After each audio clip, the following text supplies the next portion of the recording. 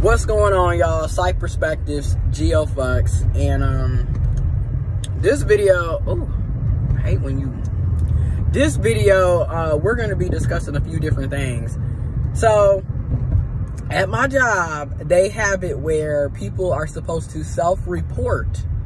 Okay, self-report if they have any symptoms of COVID-19. So, like be, when you walk through the door and before you go through the security turnstile checkpoints at my job and you're supposed to tell them no symptoms if you don't have symptoms. And the symptoms you know are there's so many different symptoms. It can be anywhere from you having diarrhea to you having uh, a, a coughing and sneezing to you know a sore throat. There's so many different symptoms and you're supposed to self-report now, does anyone see the error in this? Nobody's checking our temperatures, which, granted, just because you check somebody temperature doesn't necessarily mean that person doesn't have COVID.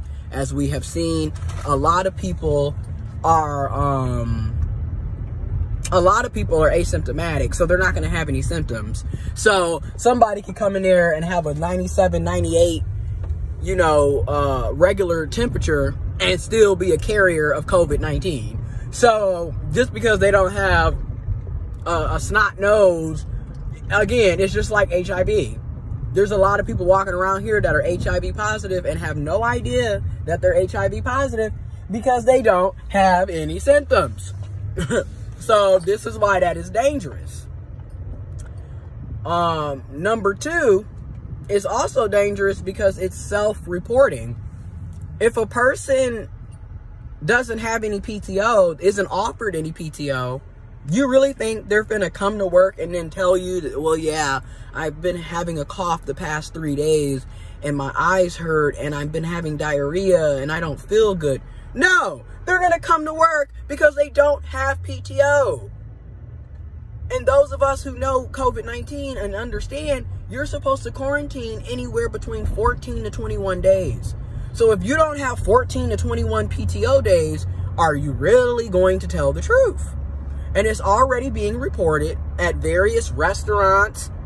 People are in here at, I'm driving past a restaurant, just drove past Taco Bell. There's somebody at Taco Bell making your food that's sick with COVID. I'm just being real. Okay? And they don't have the luxury of being like, well, I'm going to go see the doctor because guess what? They don't have health insurance more than likely don't have health insurance and they don't have the luxury of having PTO.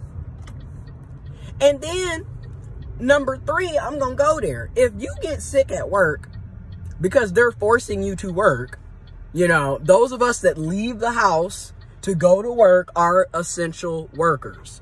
We are being forced into being frontline workers. They are forcing us to work outside of our houses. I'm just saying. So, in that situation, I don't think we should have to use our personal PTO if we get sick. That should be on the company. That should be on your job. Because why should I have to use up my PTO because you had me here and I'm sick because you had us at this building when we could have, you know what I mean? I'm just being real. All right. Number four issue that, that sticks out to me why are we allowing people to travel in a fucking pandemic? Yes, I just used the F bomb. Why are we allowing people to travel in a pandemic? They need to literally cut non essential travel. I mean, I have colleagues, and don't get me wrong, I get it. Especially for young people, you know, uh, millennials and, and, and Gen X or Gen Zers, I get it. Our our lives have pretty much been shit since day one. You know, we've been living through economic disparities back to back. I couldn't, I mean, literally by 2007, 2008, we was already in a recession. And now we back, you know, I mean, it's just been L after L after L for us. And I get a lot of us are like, well, if this is the end of the world, at least let me travel and get something out of it. Like, that's how some people think. But here's my issue I got colleagues that are at the office. Oh, I just got back from Texas. Oh, I just got back from New York. I'm going to Chicago. Oh, I'm going to Cali. Oh, I'm going here. And in the meantime, you're leaving somewhat stable states and then going to places that are in the red. And that's how COVID keeps being spread because everybody is just out and about. People are not wearing masks. That's another thing. At my job, you're supposed to be wearing a mask, right? But also, our governor has already mandated that we wear masks. People are not wearing masks at all. They're just walking around. People are, we sit right up against each other. We are closely sitting together.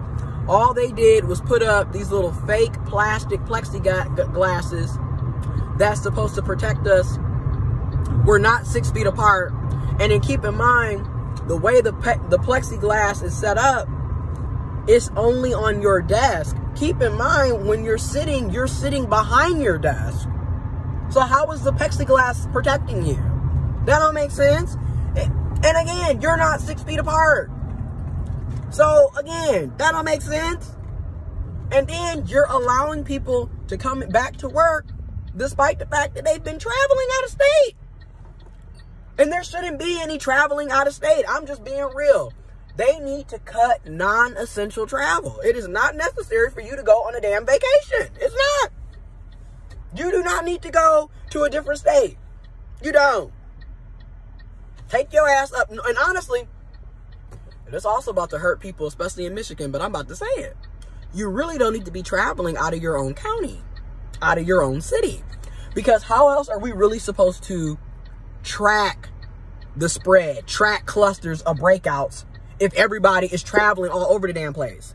You know, then you don't want to wear your mask. Y'all nasty. People still ain't washing their hands. You know, it's just disgusting, bro. It's disgusting. And I'm just sitting here like, we are literally, we are failing. We are at 50,000 plus cases a day in the USA. I was talking to one of my good friends in Georgia.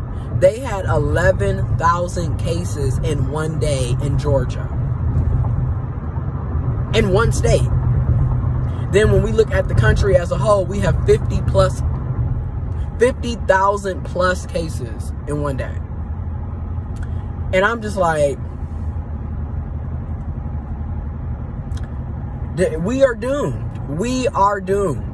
And this is another prime example of how these jobs do not give a fuck about you, your family, your colleagues, your friends, your community. They don't care about your life.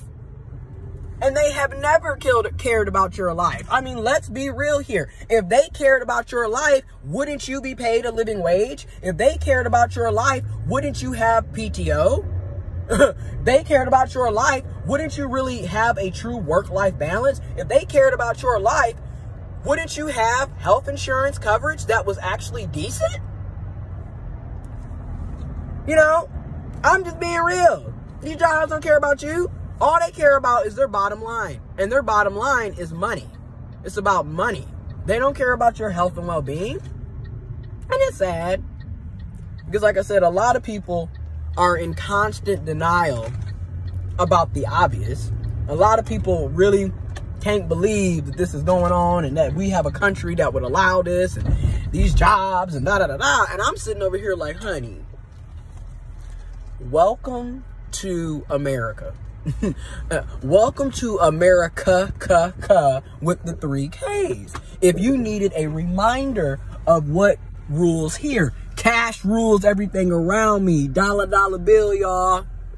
If you needed a reminder, here goes your reminder. You know how back during um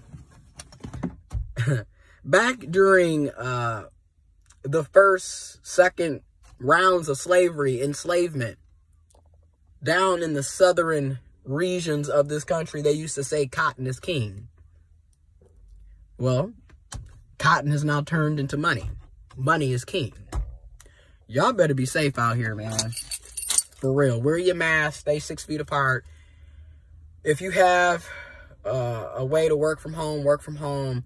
But I understand all of us can't work from home. Or don't, I'm not going to say all of us can't. All of us don't have the resources uh, or the uh, or the opportunities or the privileges to work from home. Let's just say that. So those of us that have to get out here we need hazard pay. We need living wages. But in the meantime, wear your mask. They try to stay six feet apart. Constantly wash your hands. Disinfect. Sending y'all love and positivity. Be safe.